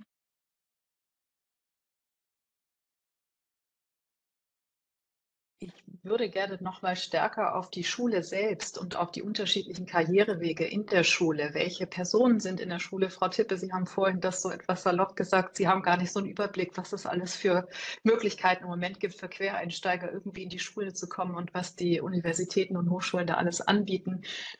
Ähm, Felicitas, vielleicht kannst du noch mal dieses äh, System auch, das sich die SWK vorstellt oder im Hintergrund schwebt, ähm, erläutern mit den unterschiedlichen Karrierewegen, die in die Schule führen. Ja, das ist in unserem System sehr, sehr schwierig, dass man akzeptiert, dass es äh, mit der steigenden Komplexität eine Diversifizierung von Aufgaben geben muss, um diese Komplexität zu bearbeiten. Das gilt für sowas wie Digitalisierung. Das kann nicht eine Lehrkraft machen, da braucht man eine Funktionsstelle. Das gilt für Inklusion. Special Needs Coordinators haben wir als Beispiel genannt für eine Funktionsstelle. Das gilt aber genauso, wie Frau Pikowski das vorher sagte, für Leute, die Fortbildung machen. Auch das ist eine Funktionsstelle. Und was wir hier überhaupt nicht haben, ist eine Verknüpfung von Aufgabenprofilen, von äh, Laufbahnen und von Weiterbildungen, die dazu passen. Und wenn Sie in die Schweiz gucken, gucken da gibt es eine sehr, sehr interessante Debatte mit den Hochschulen. Da gibt es ein von den Swiss Universities auch ein Papier dazu für die Lehrkräftebildung. Ne? Welche, und, und da wird es, wird es genau runterbuchstabiert und da braucht man drei Akteure, die zusammenwirken. Die Politik, Verwaltung inklusive Landesinstitute, die Universitäten und die Verbände. Und wir brauchen Qualifikationsrahmen für jede einzelne Funktionsstelle. Und wenn, wir haben uns die Schulleitungsqualifikationen angeschaut. Die Profile sind völlig unterschiedlich in den Ländern also nicht völlig, aber doch in weiten Teilen, zum Beispiel kommt Unterrichtsbeurteilung vor als, als Profilelement und sie variieren beträchtlich im Umfang zwischen 5 und 33 Tagen. Das ist wirklich schwierig. Und ich weiß, dass die KMK da dran sitzt, so einen Rahmen zu machen. Ich bin noch leider noch nicht eingeladen worden, da mal ähm, auch unsere Expertise vorzustellen. Wir haben, haben das ja wirklich äh, sehr, sehr ähm, differenziert auch angeschaut. Aber das müssten wir jetzt machen. Und dann können die Hochschulen auch sagen, das interessiert uns, da können wir was beitragen. Ne? Und ähm, wir haben zum Beispiel Leute im Bereich Wirtschaftswissenschaften, die da einen Beitrag leisten können. Es würde für uns sich lohnen, so, einen Masterstudiengang aufzusetzen oder auch im kleineren Umfang einen Lehrgang oder wie auch immer. Und ich finde, jetzt ist eine gute Zeit. Ich habe es vorher schon gesagt, wir haben sinkende Studierendenzahlen auf der einen Seite, wir haben die Debatte, die durch die HAK angeschoben wurde, äh, eine Bereitschaft auf Seiten der Politik, sich das Kapazitätsrecht nochmal anzuschauen. Das, und, und äh, da müssen wir zusammenwirken. Das fände ich super. Frau Jesser, ich habe eine Frage im Chat. Da habe ich das Gefühl, die würde ich am liebsten erstmal an Sie stellen. Da schreibt eine Chat-Teilnehmerin, ich fände es auch gut, wenn Professoren regelmäßig an die Schulen gingen, um die Probleme vor Ort mitzubekommen. Was sagen Sie dazu? Sie haben gesagt, Sie haben ganz stark davon profitiert, an die Universität zu gehen. Denken Sie umgekehrt, das wäre gut, das so in beide Richtungen zu spielen? Ja, denke ich schon. Also ich denke, das wäre eine Win-Win-Situation, auch für die Professorinnen und Professoren mal an der Basis zu sehen, wie es tatsächlich aussieht oder tatsächlich nicht aussieht.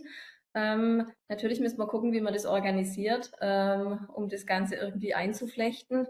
Äh, müsste dann wahrscheinlich schon über ein längerer Zeitraum sein, ein Semester oder so. Oder halt am Nachmittag dann, wie man das dann letztendlich umsetzt, weiß ich nicht, dass es eine Fortbildungsreihe oder sowas gibt. Aber dieser Wissensdurst nach guten Fortbildungen, den haben meine Kollegen schon, weil wenn sie dann zurückkommen und sagen, es hat sich nicht gelohnt, die Zeit, die ich investiert habe, dann ist Frust, Fortbildungsfrust und wenn die wirklich gut sind, die Fortbildungen, und das erwarte ich oder denke ich dann von so einem Format, dann wäre das wirklich gewinnbringend.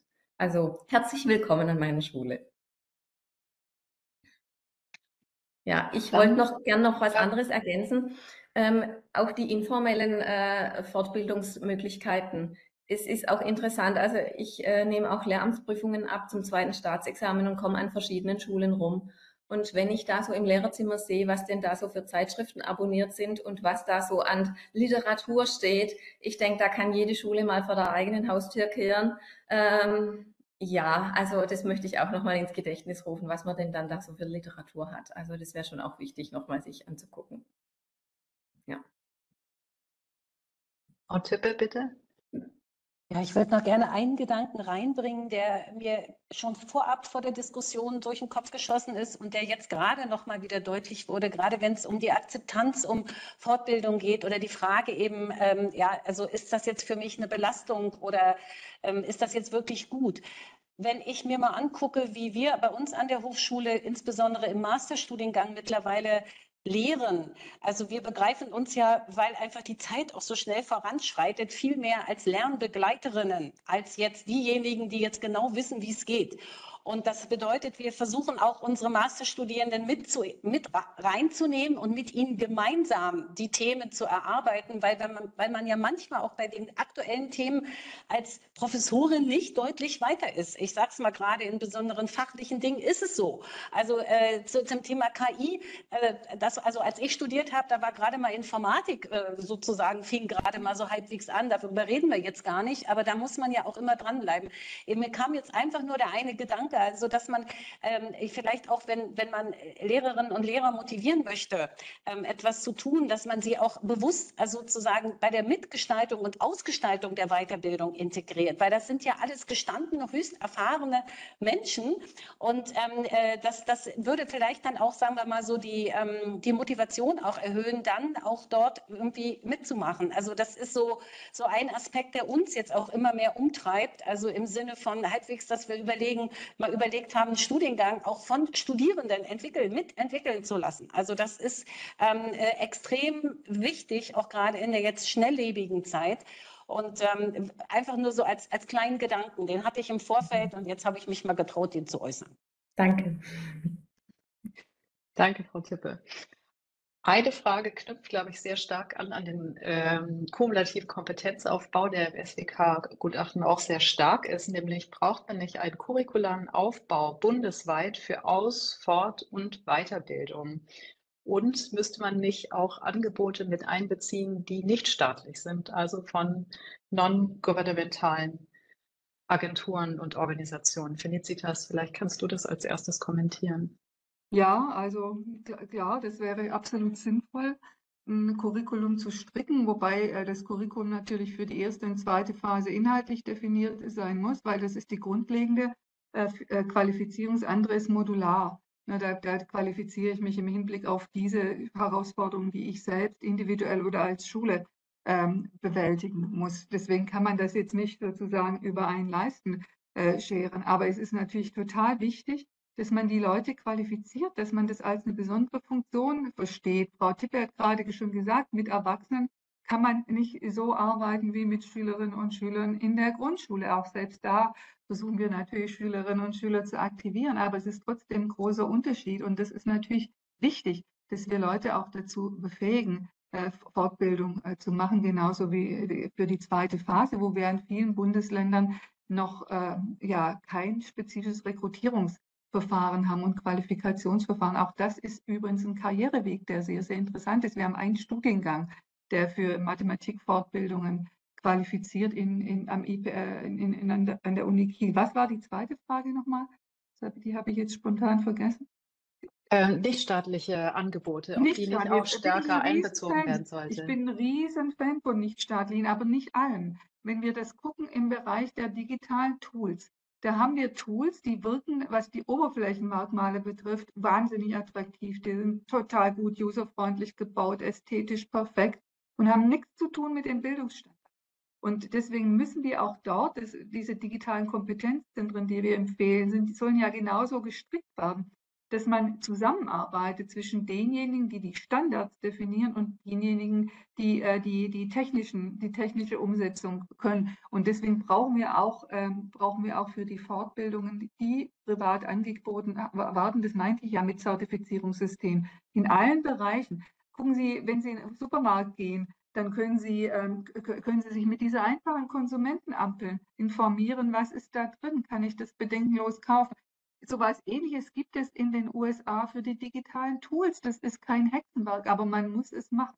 Und dafür braucht man aber erstmal die Definition der Qualitätsstandards. Also wir müssen ganz, ganz unten anfangen. Das sollten wir aber bald mal anfangen. Im Chat gibt es eine kleine Diskussion darüber, was jetzt wirklich motiviert für Fortbildung. Ob es die ähm, besondere Güte ist oder eben man verpflichten muss und das Fortbildungen nur gemacht werden, wenn tatsächlich auch eine Verpflichtung besteht. Kann ich hier als abschließende Frage bei Ihnen nochmal abfragen, wie stellen Sie sich dazu? Braucht man eine Verpflichtung oder reicht ein Recht? Ähm, macht es die Güte? Frau Pikowski, wollen Sie anfangen?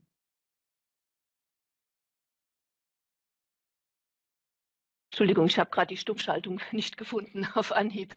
Ähm, ich glaube nicht.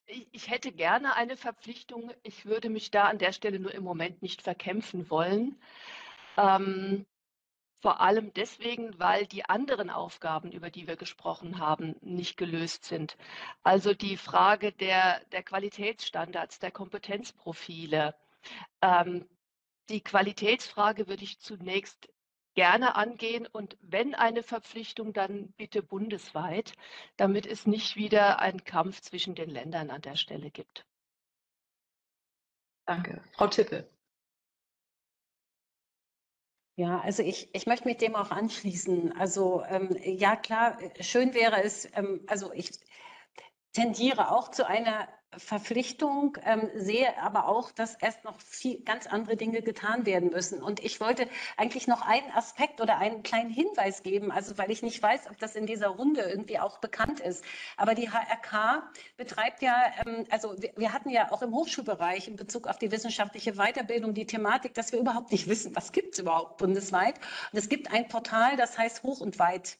Und in Hoch und Weit äh, ähm, äh, hat das Ziel national, also für, für alle in, äh, deutschen Hochschulen in dem Falle, ein Portal anzubieten, wo die ähm, Weiterbildungsangebote gelistet werden und sie schließen sich dort ein Qualifikationsraster an. Das ist von der Deutschen Gesellschaft für wissenschaftliche Weiterbildung und Fernstudium entwickelt worden. Da kann ich auch gerne den Link dann noch mal reinpacken. Äh, wir diskutieren in der HRK, ob wir das als verbindlich erklären wollen. Möchte ich jetzt einfach nicht weiter thematisieren. Ich finde es persönlich relativ transparent. Es basiert auch ähm, auf einem Schweizer System. Das ist auch immer spannend, einfach mal zu gucken, ähm, sozusagen, also was was ist denn jetzt überhaupt ein Zertifikat? Ne? Und was, wie nennt man ein Micro-Credential oder was? Also äh, damit man überhaupt mal ein Gefühl bekommt, auf welchem Qualifikationsniveau und in welchem Umfang werden bestimmte Dinge angeboten. Und wir haben bei Hoch und Weit eben auch versucht, ähm, die Angebote so zu qualifizieren. Aber die Hochschulen geben das natürlich selber ein. Das hat nie den Anspruch auf Vollständigkeit. Aber es wäre, es ist zumindest ein erster Versuch in Bezug auf Weiterbildung insgesamt mal so eine nationale Übersicht zu generieren. Das wollte ich an der Stelle einfach nur noch mal loswerden. Und das ist schon schwierig genug. Also ähm, ja, aber vielleicht kann, kann man da auch so ein paar Ideen vielleicht noch übernehmen. Oh Jesse, aus Sicht einer Schulleiterin, Recht oder Pflicht? Naja, ich unterrichte ja auch Schul- und Beamtenrecht am Seminar und äh, es gehört zur Pflicht eines Beamten, sich fortzubilden und auch sich äh, gesund zu erhalten. Von daher müssen wir das eigentlich gar nicht mehr weiter diskutieren. Die Frage ist nur, in welchem Ausmaß. Und dann sind natürlich Lehrer auch eine besondere Spezies, weil Druck erzeugt Gegendruck. Und von daher, also ich denke, dass man sich fortbilden muss, das ist ohne Frage. Das ist in jedem Bereich so. Das ganze Leben ist Entwicklung. Die Frage ist nur, wie äh, verpackt man das Ganze und wie, geht's mal, wie geht man es an? Aber die Frage an sich stellt sich für mich nicht, ja. Opikowski? Ich habe spontan darauf reagiert. Also da, es ist unstrittig, dass es zur Verpflichtung gehört, sich fortzubilden und auch weiterzubilden. Die Frage ist nur, äh, wo sich die Geister scheiden, ist die Quantifizierung und mhm. dann das Controlling und Monitoring. Ich glaube, das ist die einzige Frage, die im Moment so hochkocht. Ich würde gern, also Frau Thiel hat noch nicht geantwortet. Ansonsten sind noch einige Fragen im Chat, die ich gerne angehen würde. Ja, Frau Thiel habe ich dich aufgerufen, weil es ja in der SWK-Gutachten steht, aber Felicitas hat sich auch gemeldet, vielleicht trotzdem. Ne? Ja. Ich möchte auch nicht, dass wir jetzt ewig über die Fortbildungsverpflichtung reden, aber ich finde schon, dass wir mehr Verbindlichkeit im System brauchen, weil wir haben jetzt 20 Jahre lang versucht, die Qualität zu verändern, ohne eine Verpflichtung einzuführen. Und es ist einfach so. Wir sehen im Klassenzimmer, die Anforderungen äh, verändern sich dynamisch und es gibt sehr viele Lehrkräfte, nicht die meisten oder sagen wir mal viele Lehrkräfte, die äh, damit nicht gut klarkommen, wenn man das Schulbarometer anschaut. Deswegen müssen wir dafür sorgen, dass sie, auch wenn sie nicht so ganz begeistert sind davon, ihr Leben als äh, oder ihr Berufsleben sozusagen im Sinne des lebenslangen Lernens zu gestalten, ne, das, dazu muss man auch eine Einstellung haben, äh, dann müssen wir sie dazu bringen. Und da finde ich einen Verweis auf das Beamtenrecht nicht ganz verkehrt. Ne? Klar muss man Leute motivieren, völlig klar, aber wenn sie nicht motiviert sind, muss man vielleicht auch mal sagen, das ist eine professionelle Selbstverständlichkeit. Und es geht ja schließlich nicht um uns, nicht nur, sondern es geht um die Schülerinnen und Schüler. Und wenn wir einmal in den Bildungstrend schauen, dann sehen wir, das ist wirklich äh, Grund zur Sorge. Und noch ein Punkt. Wenn Sie sehen, dass die Hamburger Grundschulen ein halbes Jahr vor den äh, Schülerinnen und Schülern in Berlin sind, was das Lesen und die Mathematik betrifft. Ähm, ich will da keinen kausalen Zusammenhang stricken. Das hat sicherlich nur, nicht nur mit der Fortbildungsverpflichtung zu tun, sondern mit vielen, vielen anderen Dingen auch.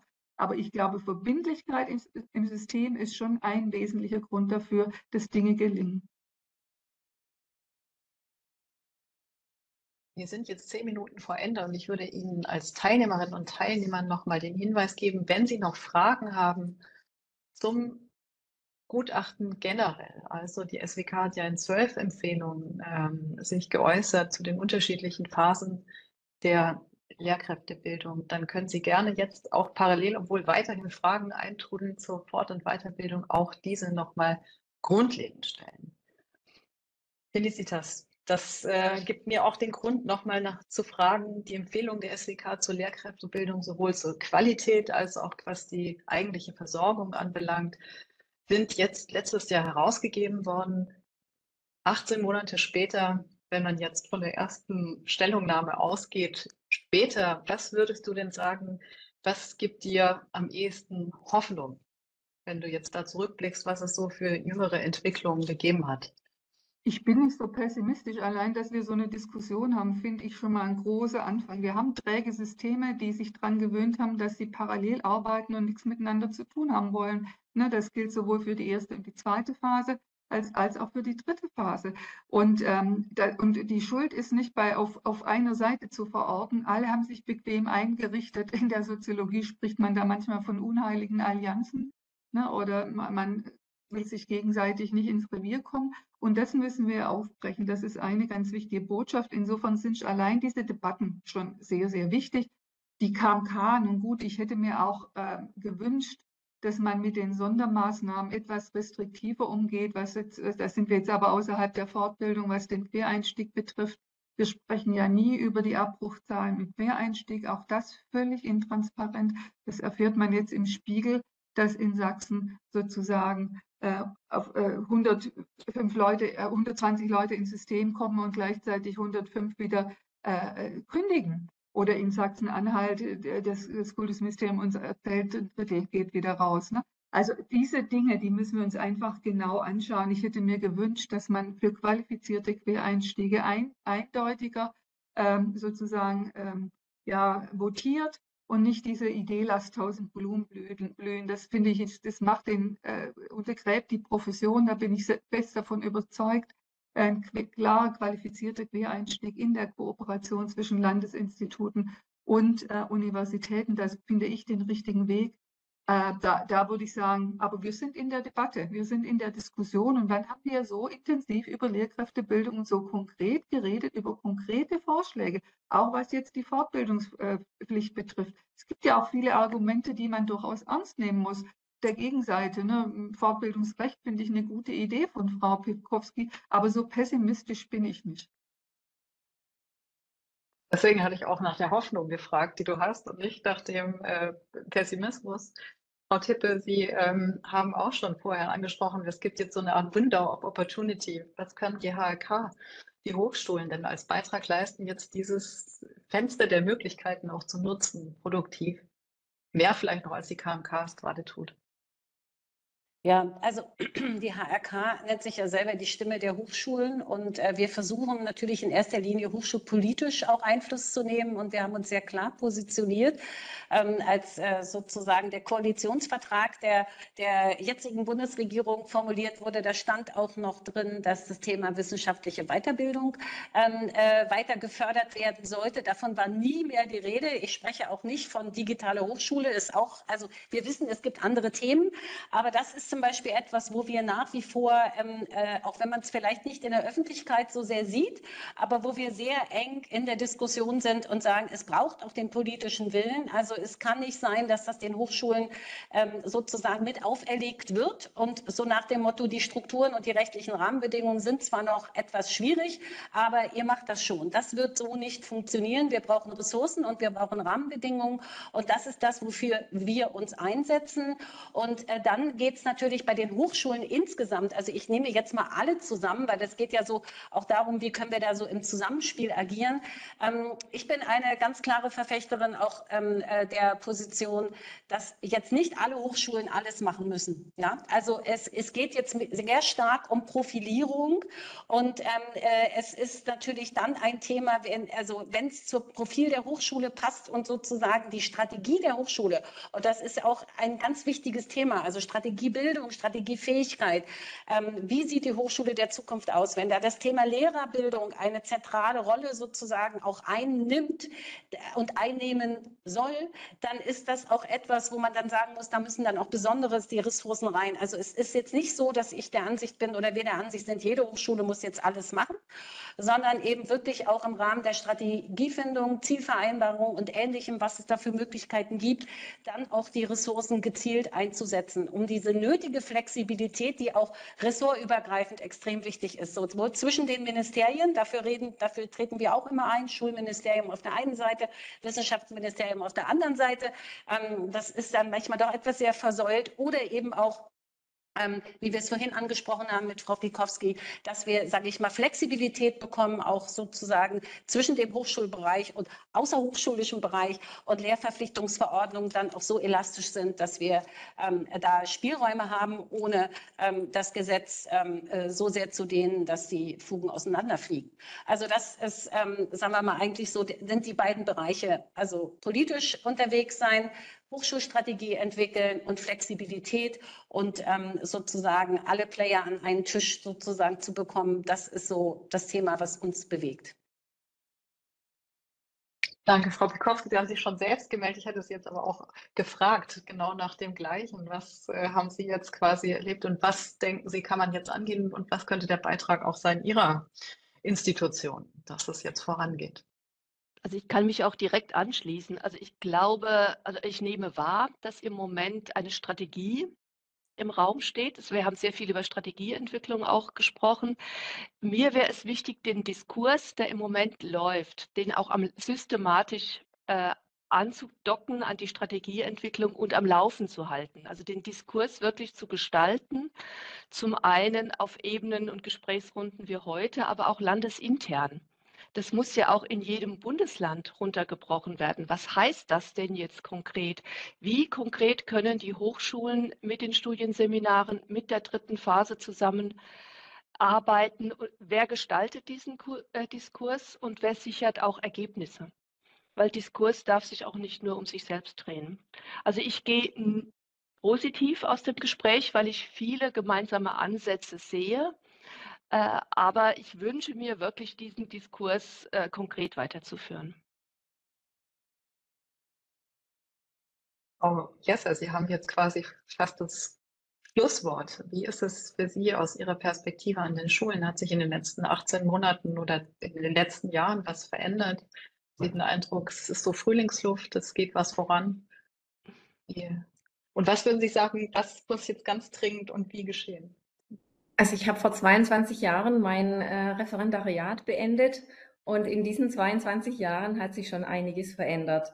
Besonders gefallen hat mir vorhin in der Diskussion, dass das Wort Schüler mal fiel und Lernende und Zukunft der Gesellschaft. Also das möchte ich gar nicht aus den Augen verlieren. Wir sprechen ganz viel über über Ausbildung, über, äh, über äh, Referendare, über Lehrer, Lehrer im System, Lehrer noch nicht im System. Aber letztendlich, um was geht's denn? Es geht um die Schüler, um guten Unterricht und um eine zukunftsfähige Gesellschaft und äh, Demokratie. Ja, das sind alles so Sachen, äh, Demokratiebildung, die mir einfach total wichtig sind und äh, wo wir nicht aus dem Fokus verlieren dürfen. Also da möchte ich nochmal einen ganz großen Appell dran setzen.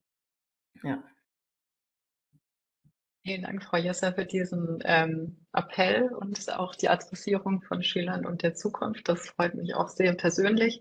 Felicitas, du ähm, darfst jetzt quasi. Ich kann eine große Dialogbereitschaft hier von allen Seiten gehört und äh, dieser Dialog sollte weiter äh, gestrickt werden. Es ist auch wichtig, dass wir ein bisschen Erwartungsmanagement betreiben. Ich habe vorher gesagt, naja, ich bin ein bisschen enttäuscht von der KMK, dass sie die ganzen Blumen noch blühen lässt, aber es ist ja auch sehr kompliziert, äh, mit den Ländern sozusagen dann auch ein, ein, ein, einen Strang äh, zu ziehen. Aber es ist schon wichtig, dass, dass wir diese Qualitätsdebatte führen, dass wir die Schülerinnen und Schüler im äh, Auge behalten und dass die Institutionen zusammenarbeiten. Ich habe neulich gedacht, vielleicht hätten wir doch eine einphasige Lehrerbildung empfehlen wollen. Wir haben das, sollen, das haben wir intensiv diskutiert wo ich wieder frustriert war, dass man sich überhaupt gar nicht äh, aufeinander zubewegt, erste und zweite Phase. Also da sind wir jetzt auch in der Bring, ne, wie sagt man, doch Bringschuld, dass, dass, dass, wir, dass wir wirklich zusammenarbeiten. Weil das, das kann, also diese, diese Zerstückelung, erste, zweite, dritte Phase, das kann so nicht weitergehen. Ja, damit sind wir am Ende nicht nur heute dieses Talks, ähm, sondern mit der gesamten Reihe zur Lehrkräftebildung vorerst. Vielleicht kommen ja noch weitere zukünftig. Was ich jetzt schon ankündigen kann, ist die SWK in den letzten Monaten an neuen Empfehlungen gearbeitet zur historischen und politischen Bildung. Da geht es um Demokratiebildung, um ähm, Partizipationsfähigkeiten von Schülerinnen und Schülern. Und diese Stellungnahme wird in Kürze fertiggestellt. Und äh, auch dazu wollen wir einen SWK-Talk machen, voraussichtlich Ende Juni oder Anfang Juli. Wir lassen Sie es wissen, wann wir genau diesen Talk machen und hoffen, dass Sie uns weiter gewogen bleiben. Vielen Dank an Sie alle, die heute teilgenommen haben, die in der ganzen Reihe teilgenommen haben. Vielen Dank für Ihr Interesse und alles Gute. Schönen Nachmittag.